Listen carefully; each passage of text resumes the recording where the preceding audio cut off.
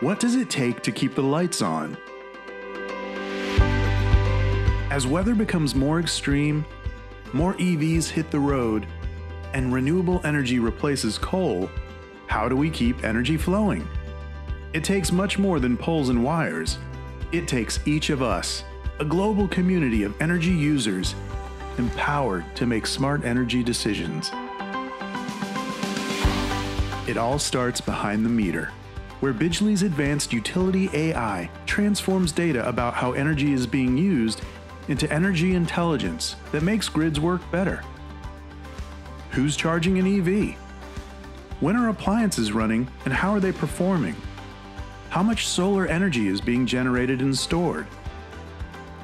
Utility AI creates personalized insights to help people learn how to conserve, shift their usage, and helps supply more clean energy.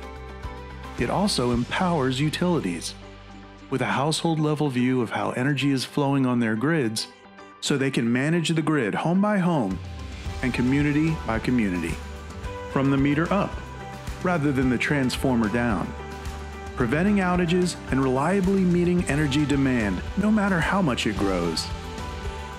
It all starts behind the meter, with utilities and people empowered to do their part, working together to keep the lights on and build the grid of the future.